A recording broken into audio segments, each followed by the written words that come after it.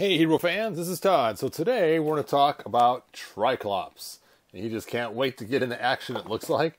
So let's go ahead and start with the original Tri-Klops. Now, this right here is actually a commemorative one, but it kind of has the same exact one as the old, old one. One thing about the original one is the face. The face actually had like three different frowns, and each one a little more than the last. And so you would see like this uh, really weird looking mouth on the original where it's kind of get lower and lower. Now, when I used to use this Tri-Klops, I used to give him this weapon here. So as he's standing next to Skeletor's throne, he could kind of defend him, and I would give uh, Faker, um, the one from uh, Castle Grayskull. But normally, this is his normal weapon. Is this sword right here that just pulls out, goes in his hand. And how cool is that? He actually has a place to store it. We all kind of wished He-Man had that storage spot when we were kids. So it's kind of cool that they gave that to us with Tri-Klops. Now, I believe Tri-Klops originally was going to be a heroic figure.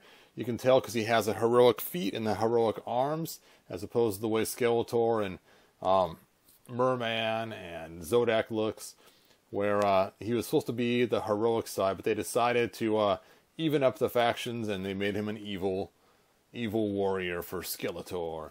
Now, what's kind of cool too is he actually had paint on his cuffs. As we saw with the original He-Man, they didn't. It was just skin color.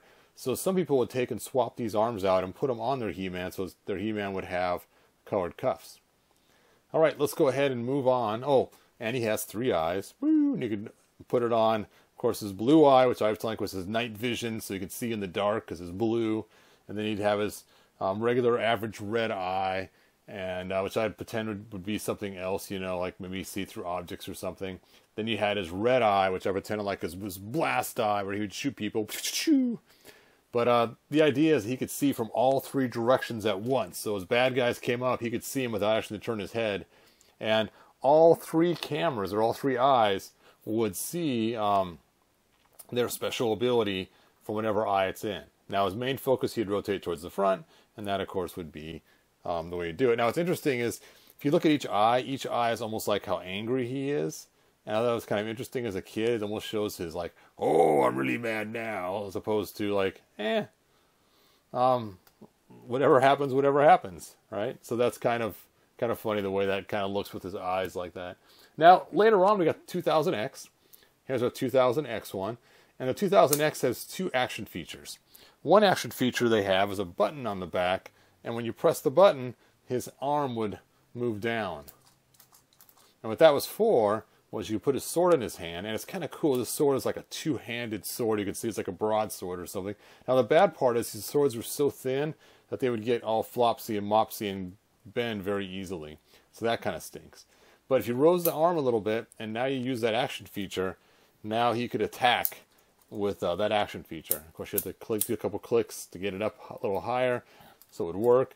Now, he has one hand that's up all the time, so the best way to put this in his shape would be to rotate him this way a little bit, his one leg out, and then uh, you could put the arm out a little bit, turn his head, then he was kind of ready for battle now to fight whoever he was going against. So that's kind of the way you'd put him in position in order to uh, fight. Now, what kind of stinks about this, with his leg being bent, is you're kind of stuck in a certain pose. And uh, I, I not a fan of action figures that have legs stuck like that. Like the old McFarlane figures had that a lot, where they only had certain poses that would work just because of the way their legs or arms were shaped. All right, so the other feature of this 2000X figure is on the top of his head is a small little clear area, and the idea is when you cover his eye, um, you can release it and it shows some light. Let me get a flashlight to show you kind of what this looks like.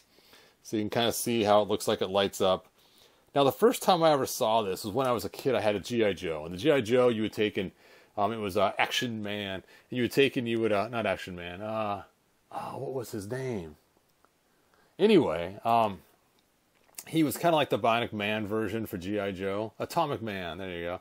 And what you would do is you would take and you would cover his um, eyepiece over and over again from the top of his head, so he could do Morse code to signal other Joes and it was kind of a cool feature. So of course I had to see how it worked, so I ripped his head off, looked inside, and saw the little plastic piece going in there. Then later on I learned about fiber optics, and so my kids, we were at Toys R Us one time, they saw the same thing with a Jawa action figure, where it had like the burgundy, um, kind of a darker color up here when you uh, had the light on top, the burgundy would light up in front and make his eye look like it was lit up. And uh, so, of course, I told them all about it and fiber optics and how it all worked. And they're like, yeah, whatever, Dad, just get us the figure. And I said, hey, hey, for, for that attitude, no figure for you. So, what's fun about this is you can get some laser pointers. And I got these three assorted laser pointers in three different colors. So I have my uh, my red, my uh, green, and my kind of bluish purple. And what's fun about this is uh, is you can take and use a laser pointer to really light that up, and that's just makes it look really cool. Like his eye is just psh, blasting people left and right. And of course, let's go ahead and do the green one.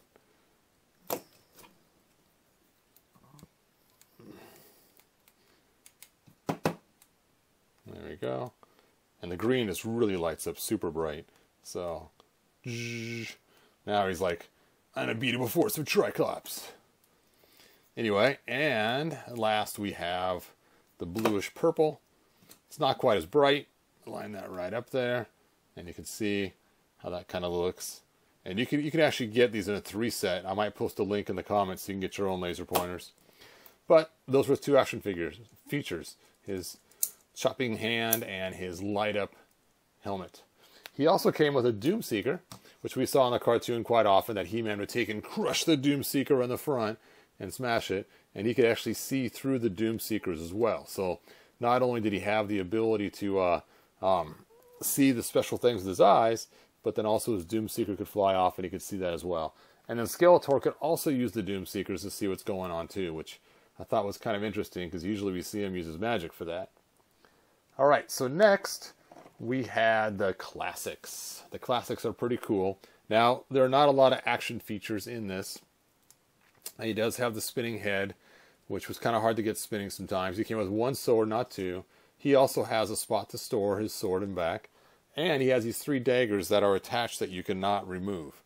Now, um, he does have all kinds of articulation, which made this figure really cool.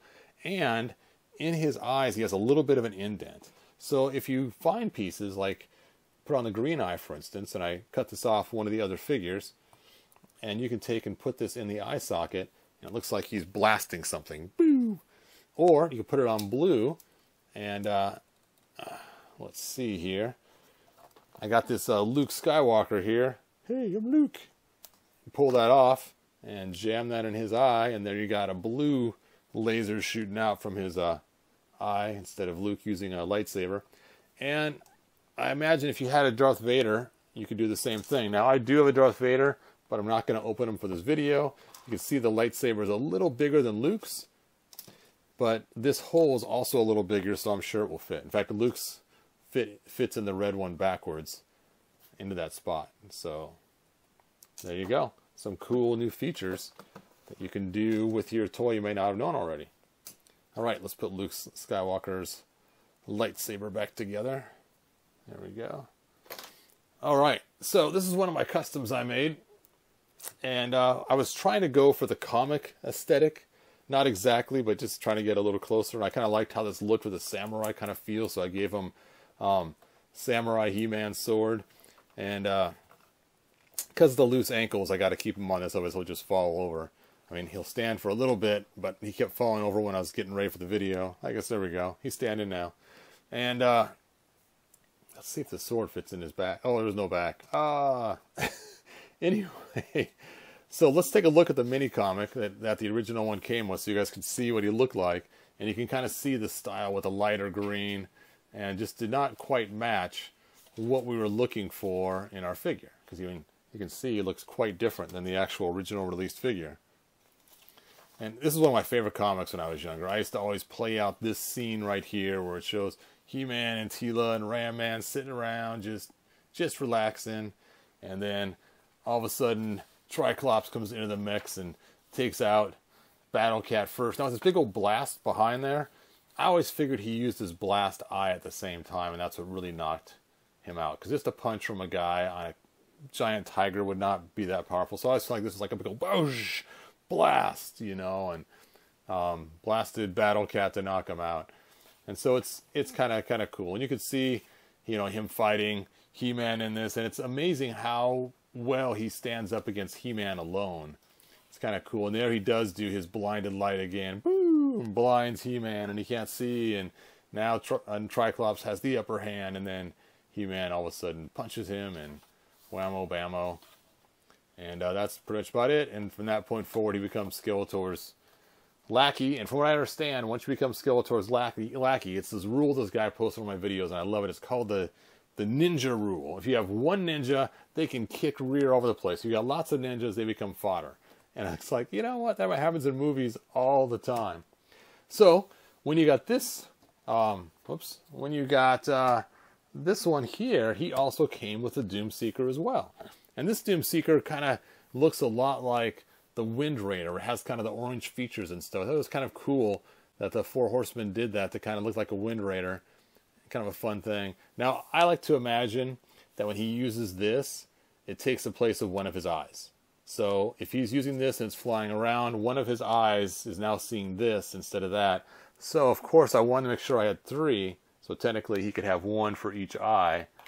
And at that point he would actually be blind where he's at, but then his Doom Seekers could see wherever they fly off to. So that was kind of always my thought process.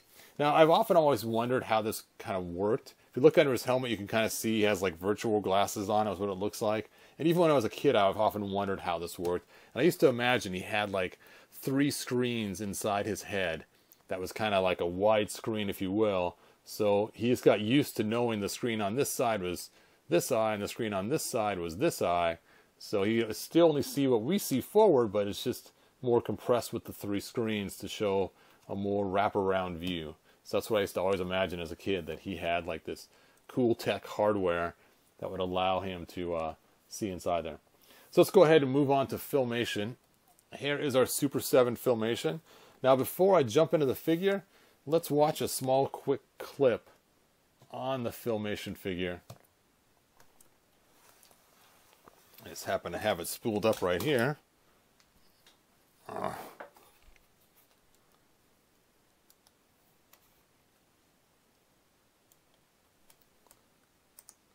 And you can see when he first, uh, oh, let's hit play. There we go. When he first comes into the scene, he's got these different shaped eyes, which is kind of interesting. And one of the eyes can see through objects, his gamma vision. And so you could see him using his gamma vision to find that. And then, of course, Skeletor calls him there and takes his weapon with him that he found. That's kind of cool. And look how close he looks here to He Man. I mean, the colors are almost the same the same orange belt, the same brown orangish pants and the same color wrist cuffs. The only difference is is the boots. His boots don't have the furry outside like uh, He-Man has on his boots. So when I first saw this particular figure, I got kind of excited because the filmation um, uh, He-Man figures were getting so expensive. I thought, you know what? I could just use this as a filmation He-Man. Just swap out the armor and I'd be set. Well, the bad part is, is uh, right there you can see they made a different uh, uh, body for him, and they glued the armor on. He's got this little square right on his back. You have to sand down first, and it goes into this square right here. And when you put it in the right spot, his armor is kind of bunched up on his back and pulls up uh, like a half shirt on his front. So you have to break that glue first, slide the armor forward, and then keep going. Another thing I want you to notice is look at the green color difference. His green is like this super bright fluorescent green, while in the cartoon, it's more of a greener, darker green. And so a lot of people complained about the green not matching correctly. Um, Super 7 told us that this is the actual color they used. It's just because of TVs back in the day. That's why it looks darker green. Okay, maybe. But even if that's true, we remember the dark green. So sell us the dark green, not the one that matches the thing that nobody ever saw because we didn't have that. Now it's also interesting, he only has three dots instead of all the way around like we usually see with He-Man. So, unfortunately, you cannot use this to make a He-Man very easily because of the bump on the back and the boots don't match. But, I mean, you could, I guess. Now, at first, his head did not turn very easily. In fact, it was kind of glued in place from the paint. So, Super 7 eventually said, you know, you're right. There is a problem with it. So they sent out an extra head in this envelope right here that you would get. Now, I didn't open this to see what it looks like. I imagine it's the same head. But it stinks is I bought three of these and I had three subscriptions at the time. They only sent me one extra head. I kind of wanted to have more than one so I could open it up and check it out. Now the fun thing is, look, it has a little eye right there for attention because it's for Tri-Klops. That was kind of clever. But I did not open immediately like it says. So there you go. So when it comes to uh, Mattel and their different things they do, quite often they'll repeat characters. So an example was Tri-Klops when it came to New Adventures was repeated in the form of Optikk. So Optikk, if you will, was kind of like the Tri-Klops of New Adventures. And on his back, he'd have a little control knob that you would control and move his eyeball back and forth. And he came with multiple eyeballs. Now this, of course, is the classics one. Um, the original toy, the eye did move and only had one eyeball. So you could change it out for a green one or an orange one. So across the internet came this idea is what does Optikk look like without his armor? And there was this really cool guy, I can't remember his name off the top of my head right now. He made a lot of really cool custom heads. And his thought was that he was like an octopus alien creature. So he made one that was really cool. And I decided to make one also. I went and found like a little um, Fisher Price type of, of Aquanauts actually toy. I cut the head off, cut a little V shape in there, painted it some really cool colors, um, added a, a peg in there so that I could swap the eyes out if I wanted to, or even put another head on there, I guess. And uh, there you go. And I put some clear resin to hold it in place, and uh, that seemed to work pretty well. So this is my unarmored Optikk, and then he crawls into the armor, and then he controls it like a robot with all these little tentacles coming out to control all the the things that he does. Now, we also had a Masters of the Universe movie that came out in uh, 1987. And this movie featured uh, um, very few characters we knew. It did have a Beastman and an Evil-Lyn and He-Man and Man-at-Arms and Teela, but that was pretty much about it. Oh, and the Sorceress that looked completely different as well. But we had some new characters like Blade. And a lot of people wondered, was Blade really Tri-Klops? Because he, he's a master of swords, and we saw in the comic that he was a master of swords. He's a swordsman. And so it only makes sense that for some reason they decided to recreate Tri-Klops in this blade. So this is the classics blade version right here. He comes with two swords.